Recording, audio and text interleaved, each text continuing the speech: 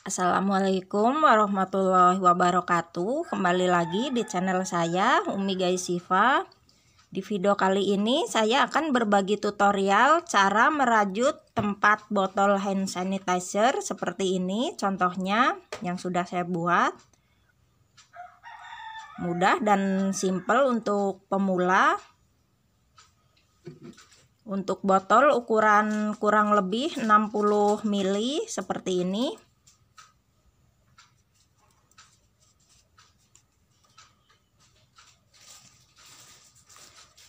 alat-alat yang disiapkan. Di sini saya menggunakan benang nilon PP atau nilon polipropilen ukuran D36 seperti ini.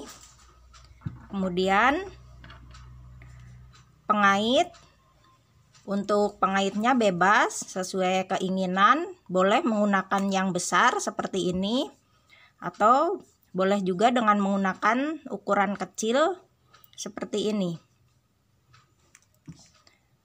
kemudian hakpen saya menggunakan hakpen ukuran nomor 5 kita mulai saja. Bismillahirrahmanirrahim.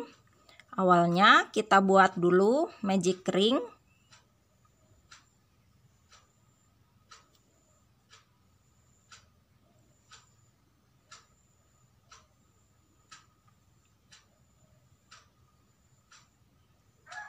Seperti ini Lalu kita isi magic ring ini dengan single crochet sebanyak 7.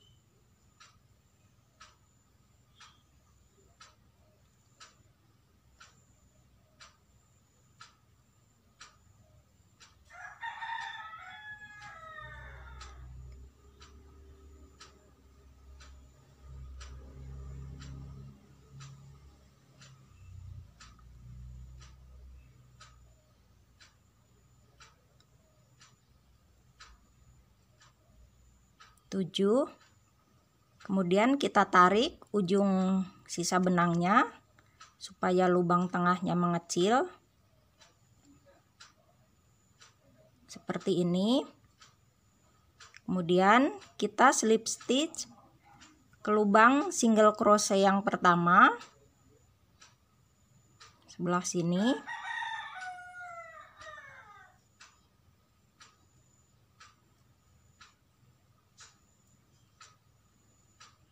seperti ini. Lalu kita buat chain sebanyak tiga. Satu dua tiga. Kemudian kita buat single crochet ke bagian lubang depannya. Sebelah sini.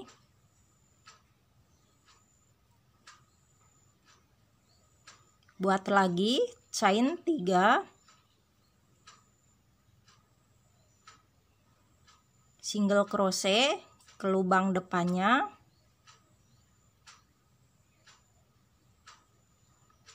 Buat lagi chain 3 single crochet ke lubang depannya. Chain 3 single crochet.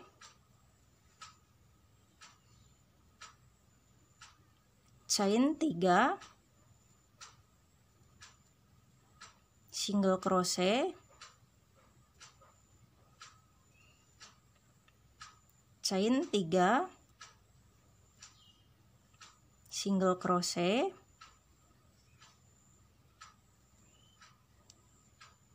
Kita hitung dulu jumlah lingkarannya 1 2 3 4 5 6 baru ada 6 kita buat satu lagi lingkarannya dengan chain 3 kemudian single crochet ke lubang yang terakhir masih ada sisa satu lubang lagi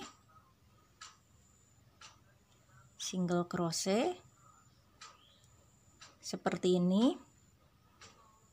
Jumlah lingkarannya ada 7 lingkaran. 1 2 3 4 5 6 7 kemudian eh, mohon maaf karena tadi saya lupa tidak menyebutkan untuk menyiapkan penanda rajut ini. Kita pasang penanda di bagian sini.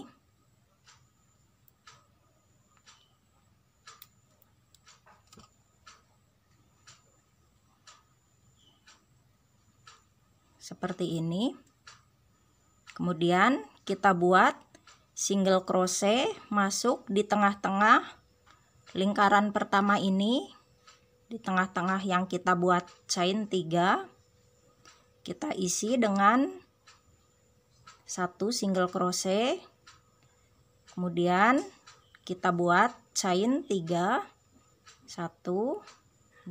2 3 single crochet lagi ke lubang depannya buat lagi chain 3 1 2 3 chain ke lubang depannya.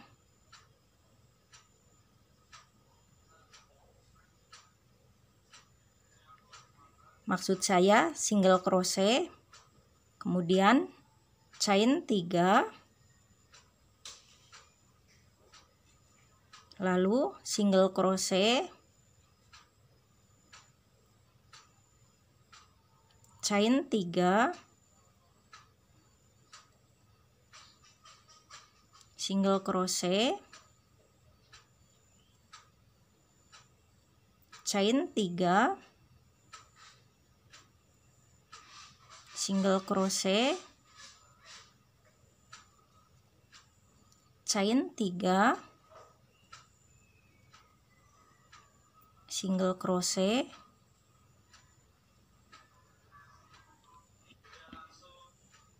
chain 3 single crochet ini langsung masuk ke lubang bagian sini. Coba kita hitung lingkarannya. 1 2 3 4 5 6 7 dengan yang terakhir ini. Kita buat single crochet seperti ini. Dilanjutkan saja dengan cara yang sama yang sudah saya jelaskan tadi. Sampai 13 row atau disesuaikan dengan tinggi botol hand sanitizer yang akan kita pakai. Sudah dilanjutkan seperti ini hasilnya. Coba kita hitung mulai dari yang ada penanda rajut ini kita hitung satu di sini satu dua tiga empat lima enam tujuh delapan sembilan sepuluh sebelas dua belas 13 saya buat 13 row. Untuk ukuran botol 60 ml ini berhentinya pas lurus ada penanda rajut ini. Seperti ini. Selanjutnya kita buat pinggiran dengan menggunakan single crochet satu lubang sebelah sini. Pertama kita mulai. Kita masuk ke lubang single crochet ini. Kita buat satu single crochet kemudian untuk lubang chain ini kita isi dengan tiga single crochet dalam satu lubang. Satu dua tiga. Selanjutnya satu single crochet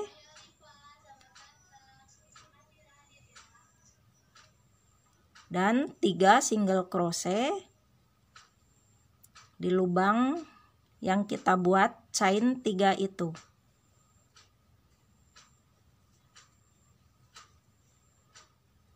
Satu single crochet. 3 single crochet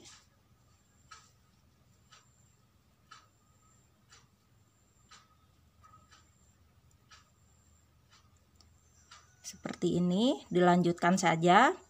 Sampai berhenti pas di bagian kita mulai membuat single crochet ini atau lurus dengan penanda ini. Atau boleh kita pindahkan penandanya ke sebelah sini. Sudah satu row single crochet seperti ini. Ini penandanya saya pindahkan ke bagian atas seperti ini. Setelah pas satu row seperti ini sampai di bagian penanda. Kemudian kita langsung tempelkan pengait ini seperti ini.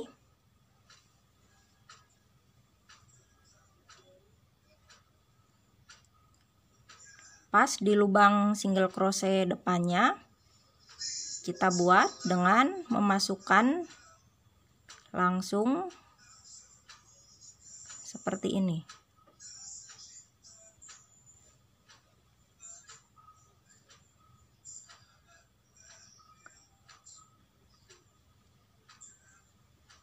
Satu single crochet. Kemudian buat lagi masukkan ke lubangnya sama seperti yang tadi 2 single crochet. Apabila dirasa kurang kita boleh tambahkan satu lagi.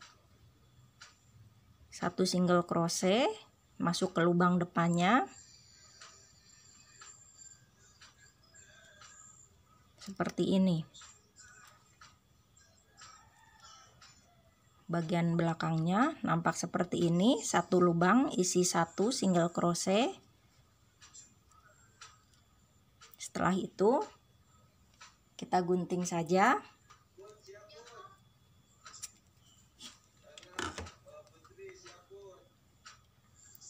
Kita lepas dulu penanda rajutnya.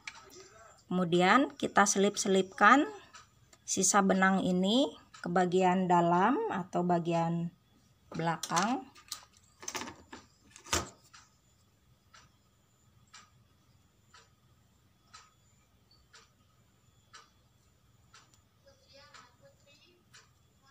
untuk bagian dalamnya juga. Kita selipkan dulu dirapihkan. Seperti ini hasilnya sudah dirapihkan sisa-sisa benangnya. Kita coba masukkan botol hand sanitizernya. Seperti ini. Selanjutnya kita bisa pasangkan atau gantungkan ke tas yang akan kita pakai untuk bepergian. Seperti ini.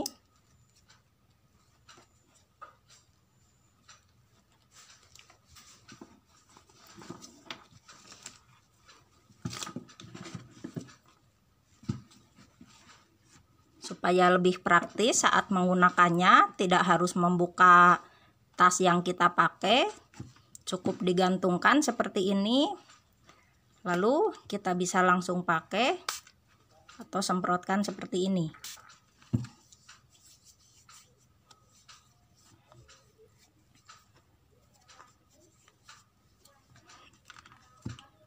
Sekian tutorial dari saya, semoga mudah dipahami dan bermanfaat buat Bunda dan teman-teman yang membutuhkan. Terima kasih. Wassalamualaikum warahmatullahi wabarakatuh.